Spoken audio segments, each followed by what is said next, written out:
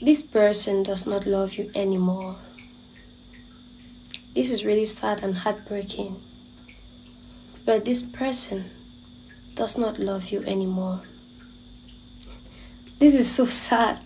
I don't know why I feel so saddened by this. Let's pray before I release this prophetic word so that God is going to strengthen, that God is going to help the person that is um, in this situation. Hallelujah. Father, we thank you for your word that is about to come forth. I pray, oh God, that you give me utterance and that you prepare the hearts of those that are hearing. Let this word fall on a fertile soil and let it help them in ways that are unimaginable and let it bring peace into their hearts. In the mighty name of Jesus, amen. If this is the first time you're joining, this is prophetic intercession with Armelle. We always come on live like this.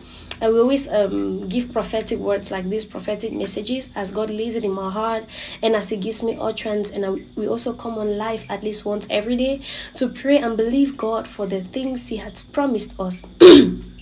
Hallelujah. God bless you. Subscribe. You can share to a loved one. Let them be a part of this community. God bless you as you do that. In the mighty name of Jesus. Amen.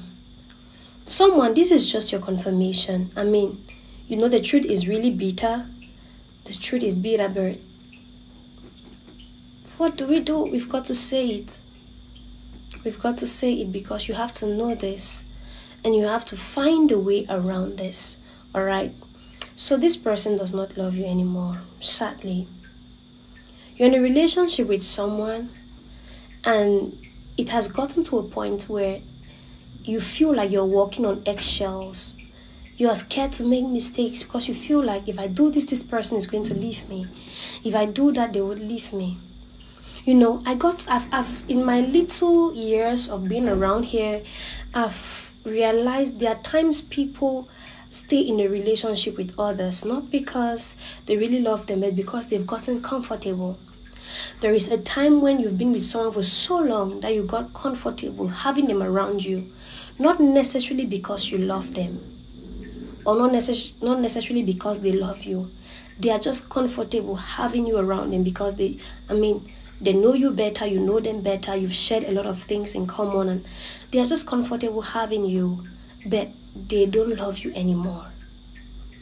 And in that case, it, it gets really frustrating for the one that is not loved because your life really becomes miserable.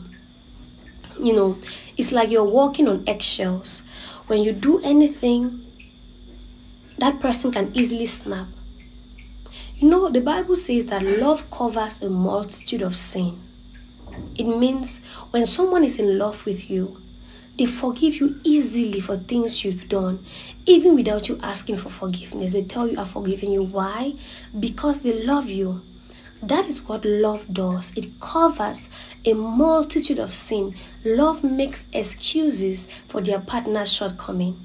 Love does not pinpoint it and you know throw it on their faces. No, love makes excuses, gives them allowance, gives them an opportunity to be better at, the, at themselves.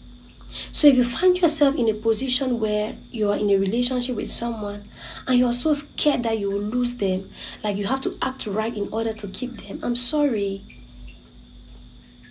You might just be in the wrong place. You have to find yourself a right place. Because anyone you're scared of losing, you lose eventually.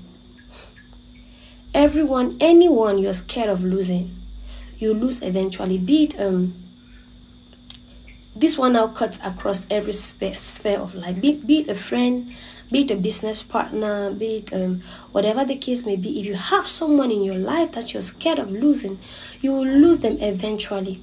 So you're in this relationship and and you cannot freely talk like you want to say you want to express yourself and you are scared what if i say this and he, and he gets angry? What if i say this and he throws her off balance? I'm sorry. You're not in the right place and if someone snaps at you for the slightest thing you do, I mean, they don't love you anymore. They are just. Some time ago, a friend told me something. It was crazy. So, this guy was dating this girl. He had even promised her that I want to get married to you. And as time went on went by, apparently he stopped loving her. But this girl was a very good girl, like she she will not cheat, she'll not keep late night, she does not even entertain male friends. I mean, she was all about her relationship. Yes, the girl had her issues, but who doesn't have issues, you know? So they were together, and it got to a point where the guy stopped loving her, but he did not know how to exit the relationship. The girl was, you know, the girl did not give him any reason to exit. So he told me, at this point, I don't want this girl anymore. I don't love her anymore. I'm just hoping that someday I can just meet her with a guy in a compromising position. I don't want to know if it's her boyfriend or not. I just want to meet her in a compromising position and I'll just say, that is it. The relationship is over based uh, on this I have seen. And the girl never did. He never met the girl in, in a compromising position with another person.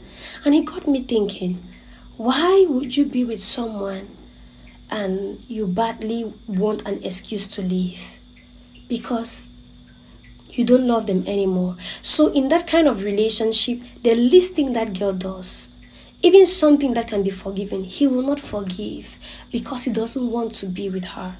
They had a little misunderstanding. The girl said something, and I mean, it's something that naturally the guy should have apologized because the guy was wrong. But the guy took offense and stayed away from talking to the to the lady for over a week. The lady came back, apologized, forced herself again into the relationship. I mean, I just kept looking at it like this is quite miserable. This is so miserable. It's difficult to be with someone that doesn't want to be with you. You cannot keep someone that does not want to be kept.